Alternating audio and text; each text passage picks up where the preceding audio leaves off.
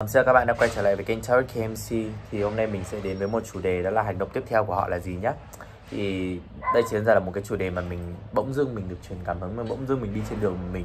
Uh, thấy là lâu rồi mình chưa làm cái chủ đề này Thì mình quyết định là làm chủ đề này. Thì hôm nay chúng ta sẽ có ba đồ vật nha. Đây sẽ là tụ bài đầu tiên là một cái cây rất là to. Tụ số 1 Tụ số 1 nhé Sau đó tụ số 2 của chúng ta sẽ là quả thông. Đây là tụ số 2 đây tụ số 2 và cuối cùng sẽ là tụ số 3 tụ số 3 thì sẽ là một cái cây này. Cũng khá là xinh đúng không? Các bạn có thể ờ, uh, post lại video nhé để chúng mình xem là uh, đâu là đồ vật mà các bạn cảm thấy ưa thích nhất. Uh, và bây giờ chúng mình sẽ đến với uh, tụ bài đó là hành động tiếp theo mà. Hành động tiếp theo của họ là gì? Ok mình cũng sẽ chọn tụ trong ngày hôm nay vì đây cũng là một cái thông điệp mình cũng muốn nghe nữa hành động tiếp theo của họ là gì? Kết nối với năng lượng dành cho các bạn chọn tụ bài đầu tiên. Hành động tiếp theo của họ là gì?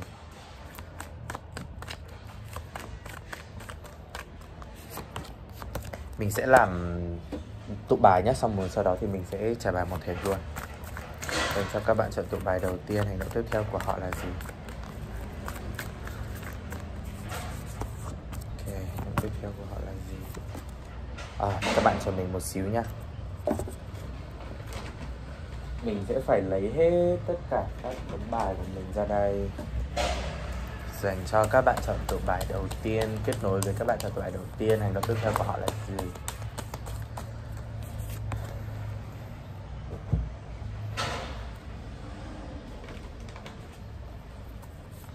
Dành cho các bạn chọn tụ bài đầu tiên hành động tiếp theo của họ là gì? Và có lẽ là ở đây hơi ồn, mình không biết nữa, nhưng mà chắc là ở gần nhà mình đang có một, gần chỗ mình ở đang có một cái công trường nào đó. Nhưng mà trưa rồi mà họ vẫn chưa nghỉ nữa. Hành động tiếp theo của họ là gì? Ok. Alright, chúng mình sẽ cùng xem dành cho bạn trong tụ bài đầu tiên. Các bạn có Knight of Swords, bảy kiếm, bảy xu This could be the one. Stay optimistic about your love life. Let go of control issues, grief, obstacles và compromise. Hành động tiếp theo của họ dành cho bạn là gì? Đây có thể đây có thể là một cái người mà các bạn đã không còn nói chuyện với nhau nữa rồi hoặc là uh, cái người này trong quá khứ các bạn cảm giác như là uh, cái người này họ ghost các bạn tức là họ có cái xu hướng đó là bỗng dưng một ngày đẹp trời họ biến mất hay là bỗng dưng một ngày đẹp trời các bạn uh, không còn câu chuyện nào để nói với nhau nữa. Hay là các bạn chỉ đơn giản là cảm thấy là trong thời điểm này các bạn có cái xu hướng là muốn né tránh họ. Thì thực ra cái hành động tiếp theo của họ là gì? Cái người này mình mình đang thấy có một cái sự chờ đợi nào đó đến từ sự chủ động từ bạn. Ờ, uh, là mình mình sẽ cần phải trải bài thêm. Hành động tiếp theo của họ để cho bạn là gì? Obstacles. Oh the fool. Ok uh, cái câu chuyện này nó nó nó sẽ là như thế này nha. Thực ra là cái người này á họ rất là nhớ bạn trong thời điểm này. Cả hai người đều có một cái nỗi nhớ nào đó dành cho nhau. Nhưng mà trong cái mối quan hệ này á thì mình đang cảm thấy là không má nào chịu thua má nào á. Tức là các bạn đều có cái xu hướng của cái việc là uh, không muốn chủ động để xem là người kia họ như thế nào với bản thân của mình liệu rằng họ có tôn trọng mình hay không. Họ có cảm thấy mình là cái người quan trọng để uh, chủ động để kết nối để tương tác với nhau hay không. Thì thực ra cái hành động tiếp theo của cái người này á, họ thực sự rất rất là mong muốn có một cái khởi đầu với bạn. Họ thực sự rất là mong muốn có một cái hành trình nào đó hay là có một cái điều nào đó mới mẻ được diễn ra giữa bạn và họ. Uh, họ muốn hai người sẽ dừng lại cái xu hướng đó là trốn chạy nhau. Bởi vì ngay trong thời điểm này á, khi mà các bạn không chọn cái xu hướng đó là ngắt kết nối, các bạn không tương tác, các bạn không liên lạc với nhau thì cả hai người đều có rất là nhiều những cái sự ta cũng không hẳn là đến cái heartbroken nữa, nhưng mà các bạn cảm thấy là các bạn vẫn check xem là người kia họ liệu rằng họ có quan tâm mình hay không, người kia họ có để ý mình hay không, người kia họ có theo dõi mình hay không. Và nếu mà các bạn thấy là à cái người này họ đã không theo dõi mình nữa rồi, họ không còn để ý đến mình nữa rồi á, thì bên trong bản thân của bạn có một cái gì đấy nó nó hơi bị mất mát uh, bạn cảm thấy có một cái gì đấy nó hơi bị tiếc nuối. Nhưng mà để bảo đến cái mức là bạn kiểu tiếc nuối đến cái mức mà đau đớn tột cùng á thì mình nghĩ là có lẽ là bạn cũng không ở trong cái giai đoạn đấy. Có thể là thời gian đầu khi mà cái những cái sự vật sự, thời gian đầu khi mà mọi thứ nó được diễn ra á, thì có thể bạn sẽ có những cái xu hướng như vậy. Nhưng mà sau khi mà bạn tĩnh lại sau khi mà bạn có nhiều thời gian một mình để bạn nhìn nhận lại mọi thứ để bạn review lại tất cả mọi thứ á thì bạn cảm thấy là ở ừ, cái người này nó họ cũng chưa đến cái mức như vậy hay là cái cảm xúc của bạn dành cho họ nó vẫn chưa đến cái mức như vậy. Nhưng mà tất nhiên là các bạn vẫn luôn tò mò về cái việc là liệu rằng chúng ta sẽ như thế nào. Thì cái người cái đối phương của bạn á họ cũng như vậy. Cái hành động tiếp theo của họ là gì? À, mình thấy cái hành động tiếp theo của họ đó là họ vẫn tiếp tục chờ. Trong cái mối quan hệ này đúng là một người thì chọn cái xu hướng đó là lẩn tránh trốn để người kia đi tìm. Còn một người thì lại nghĩ rằng là mình sẽ chờ đợi cái người kia để để để để để xem là cái người kia họ có show họ có show up họ có xuất hiện để để à, để kéo mình lại hay không để giữ mình lại hay không this could be the one yeah. À, nhưng mà đâu đó sâu thẳm ở bên trong các bạn ấy, thì các bạn vẫn luôn cảm nhận được là yeah, có một cái gì đó nó nó chưa thực sự end nó chưa thực sự kết thúc nó chưa thực sự đi đến cái hồi kết giữa bạn và họ mặc dù có vẻ như là cái hoàn cảnh mọi thứ nó diễn ra hay là bạn cũng không có nuôi quá là nhiều hy vọng cho cái việc là chúng ta sẽ như thế nào với nhau trong tương lai nhưng mà chỉ đơn giản là bạn biết là có một cái gì đấy nó chưa thực sự kết thúc giữa bạn và họ thì cái người kia họ cũng có những cái xu hướng trạng thái như vậy. Uh, có thể trong thời gian sắp tới nhỉ mình đang nếu mà bạn hỏi là ai là cái người chủ động á, thì thực ra mình đang thấy rất là mình đang không biết ai là cái người chủ động trong thời điểm này. Nhưng mà chắc chắn một điều á đó là cái cái người này á, họ sẽ có cái xu hướng tức là khi mà bạn không tương tác với họ khi mà bạn không nói chuyện với họ khi mà bạn không ra một cái tín hiệu nào đó rằng là à bạn đang quan tâm họ bạn đang để ý đến họ thì cái người đấy họ cũng heartbroken họ cũng uh, họ cũng cảm thấy có một cái gì rất là buồn có một cái gì nó rất là bị nghẹn. Nhưng mà để mà bảo là danh chính ngôn thuận hay là để mà bảo là uh, các bạn có thể tiến đến được với nhau á thì mình vẫn thấy nó có một cái chướng ngại vật nào đó ở giữa giữa hai bạn. Tức là các bạn sẽ nói là ủa thế bây giờ cả hai người sẽ đều có tình cảm như vậy? Hay là các bạn nghĩ là cả hai người đều có cái những cái cảm xúc như vậy nhưng tại sao chúng ta lại không thể tiến đến nước với nhau? Thì chắc chắn là có một cái obstacle nào đó hay là có một cái vấn đề nào đó nó luôn ở giữa các bạn. Và thực sự là các bạn không biết phải giải quyết nó như thế nào. Cái đối phương của bạn á có thể họ cũng không biết phải đưa ra cái quyết định ra sao. Và bạn thì cũng là một cái người mà có thể là sẽ chờ đợi họ để xem là thế cuối cùng rốt cuộc họ muốn điều gì để bạn có thể uh, để bạn có thể customize để bạn có thể uh, thay đổi bản thân của mình hay là để bạn có thể lựa lựa theo cái quyết định đó của họ để để chúng ta phát triển. Nhưng mà có lẽ là cái người này họ không thực sự đưa ra cái quyết định một cái quyết định nào đó để giải quyết cả. Thế nên là có lẽ là mọi thứ nó vẫn bị tắc nghẽn như vậy. Thì yeah, uh, cái hành động tiếp theo của họ là gì? Uh, đó là cái sự chờ đợi đó là cái sự xem xét đó là cái sự mong chờ đến với bạn. Bởi vì thực ra có thể cái người này họ cũng sẽ là cái người chủ động trước thôi. Nhưng mà nhưng mà mình sẽ nghĩ là uh, nó sẽ phải đạt đến một cái thời điểm nào đó khi mà họ cảm thấy mọi thứ nó thật sự là bất ổn và họ cần họ họ cảm thấy là họ cần phải kết nối lại với bạn họ cần phải tương tác lại với bạn thì họ sẽ là cái người chủ động.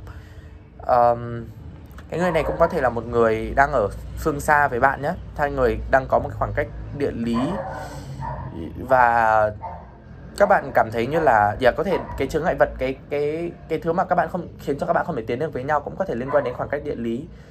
Cái người này cũng có thể là người nước ngoài hoặc chỉ đơn giản là có một cái sự xa cách nào đó giữa bạn và họ. Um, yeah uh, một điều nữa thứ hai đó là cái người này họ đang có hành động gì yeah, họ, họ không có hành động gì cả. Họ đang họ chỉ đơn giản là buông xuôi tất cả mọi thứ. Và có lẽ bạn cũng như vậy. Uh, nhưng mà có một điều đó là cả, cả hai người vẫn nhớ đến nhau. Dạ. thì đây sẽ là thông điệp dành cho các bạn chọn tụ bài đầu tiên nhé. Thật tiếc là nếu mà các bạn đang chờ đợi cái hành động tiếp theo của họ là gì thì cái người này họ vẫn họ họ cái hành động của họ đó chính là cái sự chờ đợi từ bạn cái sự uh, chủ động từ bạn cái sự tương tác từ bạn. Bởi vì họ họ có thể họ cảm thấy là trước giờ họ luôn là cái người chủ động họ luôn đóng một cái vai trò như vậy. Và họ cảm nhận được là cứ khi nào mà họ chủ động thì bạn sẽ tương tác với họ còn khi nào mà họ không chủ động thì bạn lại không tương tác với họ thì có lẽ trong cái giai đoạn này thì nó giống như là một cái phép thử của họ xem cái việc là liệu rằng cuối cùng chúng ta mối quan hệ này nó sẽ như thế nào nó sẽ phát triển ra sao. Ok thì đó sẽ là thông điệp dành cho các bạn chọn từ bài đầu tiên. À, bây giờ mình sẽ đến với các bạn chọn từ bài số 2 nhé. Kết nối với các bạn chọn từ bài số 2 hành động tiếp theo của họ là gì? Dành cho các bạn chọn từ bài số 2 hành động tiếp theo của họ là gì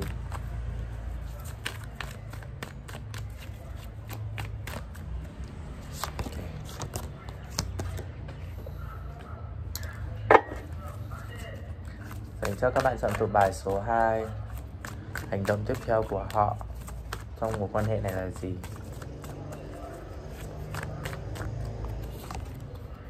Ừ, rất là một lá thôi nhỉ? Thôi hai lá cho các bạn đi. Hành động. Kết nối với các bạn chọn tụ bài số 2 hành động. Oops. kết nối với các chọn từ số 2 hành động của họ trong mối quan hệ này là gì? Hành động tiếp theo của họ trong mối quan hệ này là gì?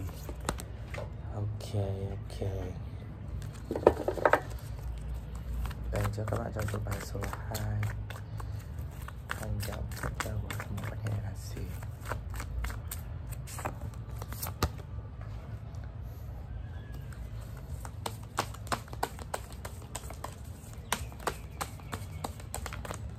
Ok, chúng ta hãy cùng xem nhé. Đến với các bạn chọn tụ bài số 2 hành động. Trong mối quan hệ tiếp theo này của họ là gì? Họ có three of wands? Justice. A of Swords, obst oh, Obstacles, New Love, Peaceful Resolution, Passion, Codependency. Và Encourage. Có một cái sự tương tác, có một cái sự liên lạc, có một cái sự kết nối hay là có một cái sự làm rõ ràng nào đó giữa cái mối quan hệ này ở đây với của họ dành cho bạn.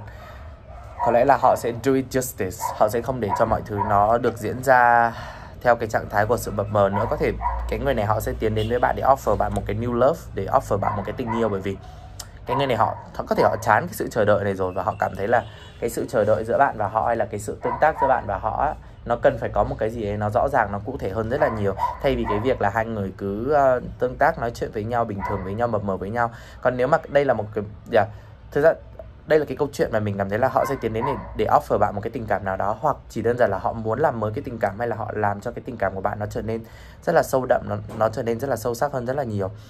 Um, có một cái xu hướng nào đó liên quan đến cái sự hành động liên quan đến cái sự chủ động của họ để vượt qua tất cả những cái obstacles mà hai bạn đang có? Tức là nếu mà trong cái mối quan hệ của bạn á tức là khi mà bạn xem cái cái tụ bài này và bạn cảm thấy là cái đối đối tượng của bạn á với bạn á có rất là nhiều những cái mâu thuẫn này có rất là nhiều những cái chướng ngại vật hay là có rất là nhiều những cái điều mà nó chẳng đâu vào đâu cả nó là chuyện bé xảy ra to á. Thì có lẽ là cái người này họ sẽ là tiến đến phía trước để để tức là họ sẽ là cái người hành động chủ động để mang lại được cái sự cân bằng lại đến với bạn. Họ sẽ đưa ra một cái quyết định nào đó mà nó sẽ rõ ràng cụ thể hơn trong cái hành trình của bạn để hai người sẽ tìm thấy được cái peaceful resolution ở đây để hai người có thể tìm thấy được cái sự uh, được những cái biện pháp hay là được những cái giải pháp mà nó thực sự rất là thoải mái ở đây. Nó mang lại cái sự uh, nhẹ nhàng đến đến với hai người. Um, yeah, cái người này trong một khoảng thời gian vừa rồi ạ có thể họ rất là có thể họ hơi bị beta họ hơi bị có cái xu hướng đó là buông buông thả bản thân của mình. Có thể họ sẽ sử dụng các chất kích thích này rượu chè uh, hay là bất cứ một cái chất gây tê nào đó để đánh lạc hướng cái cái cái cái cái những cái vấn đề trong hành trình của họ. Nhưng mà có lẽ là trong cái thời điểm trong cái hành động trong thời gian sắp tới của họ thì họ quyết định là chấm dứt tất cả những cái điều đó. Nó giống như cái việc là họ sẽ tỉnh táo lại như chưa bao giờ được tỉnh táo để họ đưa ra cái quyết định đúng đắn dành cho hành trình này. Cái người này họ cũng có cái xu hướng trong thời gian sắp tới là sẽ nếu mà các bạn đang ở trong cái xu hướng là ngắt kết nối thì chắc chắn là cái người này họ sẽ tương tương tác trở lại liên liên lạc trở lại này. Uh, sau đó họ sẽ là cái người mà động viên sẽ là cái người mà support uh, ủng hộ hay là cổ vũ bạn. Um, trong cái hành trình của bạn. Nói chung là ờ, cái với cái hành động này của họ với cái mối quan hệ này của họ thì mình cảm thấy là trong thời gian sắp tới bạn sẽ cảm thấy có một cái gì nó rất là cân bằng có một cái gì đấy nó rất là nó nó giống như cái việc là mọi mọi mảnh ghép á. Cuối cùng nó cũng được đặt cũng được đặt về đúng cái vị trí của nó và bạn cảm thấy rất là ok với với những cái điều như vậy. Yeah um, oh bạn có Ten of Cups, yeah, chính xác và đi với cái New Love của các bạn. Có một cái gì đấy nó liên quan đến cái việc là họ sẽ offer cho bạn một cái ừ, họ sẽ mang đến cho bạn một cái điều gì đó trong cái câu chuyện tình cảm mà bạn cảm thấy sẽ rất là thỏa mãn bạn cảm thấy rất là yêu đời bạn cảm thấy rất là nó xứng đáng với cái giá trị bản thân của bạn. Mình cũng cảm thấy sẽ có một cái sự phát triển lớn uh, trong cái nhận thức từ của cái người này nó, nó giống như cái việc là có lẽ cái thời gian vừa rồi á khi mà hai bạn có những cái vấn đề đó có rất là nhiều những cái obstacle đó nó chỉ đơn giản là một cái uh, một cái thử thách để mang hai người chạm đáy đến với một cái vấn đề nào đó và từ cái đáy đó các bạn học được rất là nhiều thứ và trong cái sự học trong cái sự học đó thì các bạn có những cái sự thay đổi các bạn có những cái sự uh, phát triển các bạn có những cái sự chuyển giao yeah there's something better. Yeah mình mình mình chỉ có thể nói là cái người này trong thời gian sắp tới cái hành động của họ họ sẽ mang đến cho bạn những cái điều tuyệt vời nhất. Uh, bởi vì có một cái gì đấy nó đã được nghĩ thông trong trong cái suy nghĩ của họ. Họ không còn là yeah, họ không còn là cái cái phiên bản cũ ngày xưa nữa mà. Khi mà họ quay trở lại á, thì nó đúng là new day new me luôn. À, phiên bản ngày mới phiên bản mới của tôi và khi mà mọi thứ nó ở trong cái phiên bản mới như vậy á, thì nó mang đến cho bạn những cái những cái sắc màu rất là mới. À, cái người này họ cũng được thôi thúc họ cũng được truyền cảm hứng rất nhiều để có thể thực hiện những cái điều này. Yeah. thì ở oh, các bạn cho tụi bài số 2 á mình mình nghĩ là nó sẽ chỉ cần dừng lại ở đây thôi bởi vì mình cũng không biết phân tích như nào nữa bởi vì cái người cái đối phương của bạn á họ đã có một cái kế hoạch rất là cụ thể. Họ đã có họ đã biết họ phải làm gì trong cái bước tiếp theo. Họ chưa bao giờ nó nó, nó giống cái câu ra xin I can breathe for the first time á. Tức là họ có thể cái cái cái breathe ở đây thôi được rồi đại loại đại loại dịch ra nó là uh, đã từ rất là lâu rồi ạ khi mà mọi thứ nó ở trong cái sự bế tắc đó thì đây là lần đầu tiên mà họ có thể thở họ lần đầu tiên họ có thể cảm nhận hay lần hay là lần đầu tiên họ có thể suy nghĩ một cách rất là tỉnh táo. Và nó nó rất là giống cái hình, hình ảnh của trí phèo á. Khi mà trí phèo trước đó ở trong một cái cơn say đúng không? Uh, sau đó là chửi cả làng đó các thứ đó thì đến một cái giai đoạn á mà khi mà Chí Phèo nhận được tình yêu thương á, thì đúng giống như là cái việc là chưa bao giờ Chí Phèo cảm thấy tỉnh táo như vậy và Chí Phèo muốn hoàn lương như thế thì ở đây mình không nói là cái người này sẽ có cái xu hướng như vậy nha. Tức là uh, có lẽ là trong suốt cái khoảng thời gian vừa rồi á khi mà tương tác với bạn khi mà có trong cái trải nghiệm này á thì có lẽ là có một cái điều gì đó nó không vui nhưng mà có lẽ là nó đến từ cái nhận thức từ họ nó đến từ cái cách nhìn nhận của họ và có thể là đã có một cái biến cố nào đó xảy ra giữa hai bạn và chính cái biến cố đó nó đã mang đến cho họ một cái sự thức tỉnh. Nó đã mang đến cho họ một cái sự tỉnh táo một cái sự uh, nhìn nhận lại vấn đề của họ và chính cái sự thay đổi đó nó khiến cho cái mối quan hệ này nó trở nên tích cực hơn rất là nhiều. Thì đấy là thông điệp dành cho các bạn chọn tụ bài số 2 bây giờ mình sẽ đến với các bạn chọn tụ bài thứ ba. Ok hành động tiếp theo của họ là gì? Dành cho các bạn chọn tụ bài số 3 dành các bạn chọn tụ bài số 3 hành động. Hành động tiếp theo của họ là gì?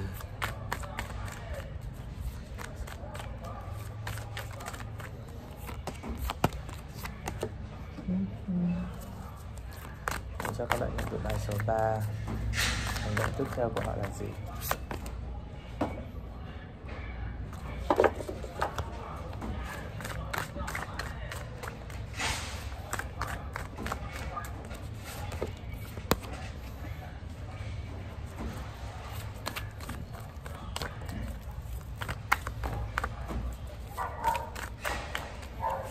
Ok các bạn sẵn sàng chưa? nốt bộ này là chúng mình sẽ đến với các bạn trong bài số 3 hành động tiếp theo của họ trong mối quan hệ là gì? Ok, chúng ta cùng xem nha chúng ta có the hermit, the sun, king, wallflower grief soulmate, big happy changes, true love và let go control issue có một cái sự buông bỏ một buông bỏ một cái sự chấp niệm nào đó đến từ đối phương của các bạn, đến từ cái người mà các bạn đang nghĩ tới trong tụ số 3 cái tụ số 3 này á, có vẻ là một người họ rất là có nhiều tham vọng. Họ là một cái người mà có cái xu hướng là mong muốn tất cả mọi thứ nó phải theo cái cái cách của mình, theo cái nhu cầu của mình. Cái người số 3 này cũng có thể là một người khá là gia trưởng hay là một người khá là kiểm soát nhỉ? Nhưng mà có lẽ là mọi thứ nó đã được thay đổi rồi bởi vì họ đã học được cái bài học đó. Giống như cái việc là uh, có một cái bài hát trong trong có một cái câu hát trong trong trong bài hát của Lana Del Rey đó là you did it for fame á.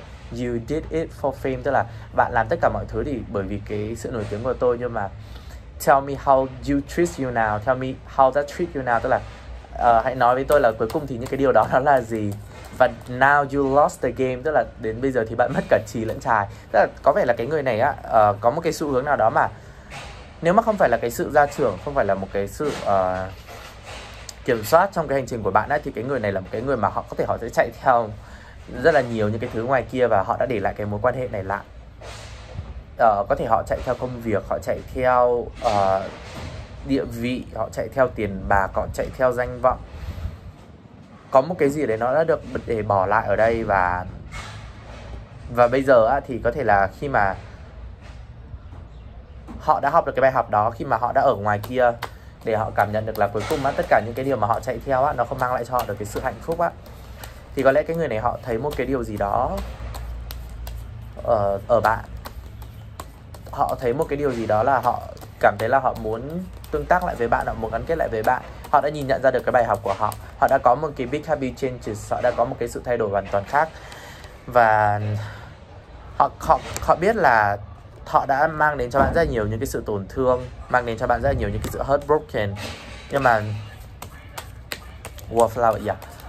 và có lẽ là trong thời gian sắp tới á, họ sẽ tìm cái cách để mon men để quay trở lại. Nhưng mà kể cả cho dù cái người này họ học được cái bài học đó, nhưng mà mình vẫn thấy có một cái gì nó rất là trịnh thượng đến từ họ, có một cái gì nó rất là cứng đến từ họ. Có thể họ vẫn nhớ bạn hay là họ cảm thấy uh, họ khát khao mong muốn được kết nối với bạn đấy nhưng mà bên ngoài họ luôn tỏ ra họ luôn tỏ ra mình rất là cool mình rất là ngầu mình không cần cái mối quan hệ này.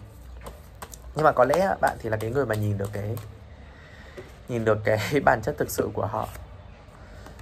Yeah sick of sick of ones. Chính xác có vẻ cái người này họ đã chạy theo một cái dạng một cái đam mê một cái danh vọng nào đó ở bên ngoài hành động tiếp theo của họ là gì? Thực ra cái người này họ không có một cái hành động nào cả. Ờ thực ra cái cái cái cái các bạn chọn tụ bài số 3 khá là giống các bạn chọn tụ bài đầu tiên. Nhưng mà giống là bởi vì cái người này họ ý thức được những cái vấn đề từ họ họ ý thức được được cái uh, được cái mấu chốt được cái nút thắt của cái câu chuyện này. Nhưng mà tất cả những cái gì họ làm á đó chỉ đơn giản là họ thu mình lại và họ đứng ở cái phía bên ngoài họ đứng từ cái vị trí của họ để họ theo dõi bạn. Họ và họ hy vọng là một ngày nào đó chúng ta sẽ có một cái uh, cầu vồng chúng ta sẽ có một cái mặt trời mới chúng ta sẽ có một cái khởi đầu mới chúng ta sẽ có um, một cái sự phát triển mới với nhau. Nhưng mà cái người này yeah, bởi vì cái cái tôi của họ quá cao á bởi vì cái tôi của họ là khá là trịnh thượng thế nên là họ rất là khó để họ đưa ra cái sự chủ động. Và có lẽ trong thời điểm này cái cái cái thứ mà họ đang làm á đó là họ cần một cái sự nghỉ ngơi nào đó. Uh, ok mình sẽ xem tiếp cho các bạn. What's next what's next what's next what's next what's next seven of seven of cups Yeah, the fool cái người này họ muốn có một yeah, như mình thực ra tất cả những cái lá phía sau á, nó chỉ đơn giản là một cái sự confirm với mình thôi. Cái người này mình có thể nói luôn đó là họ chưa thực sự uh, họ họ không phải họ chưa thực sự mà có thể họ đã nhìn nhận mọi thứ ra rồi nhưng mà họ vẫn giữ cái họ vẫn cố gắng giữ cái vị trí của họ vẫn cố gắng giữ cái giữ cách thể hiện bên ngoài của họ thế nên là họ sẽ chưa có một cái sự chủ động nào cả. Nhưng mà họ cũng không biết rằng là cái việc mà họ cố tình á, giữ một cái gì đó mà nó đi ngược lại với cái sự thật bên trong của họ á, thì nó khiến cho họ cảm thấy rất là đau đớn nó khiến cho họ cảm thấy rất là nặng nề nó khiến cho họ cảm thấy rất là bế tắc. Uh, yeah.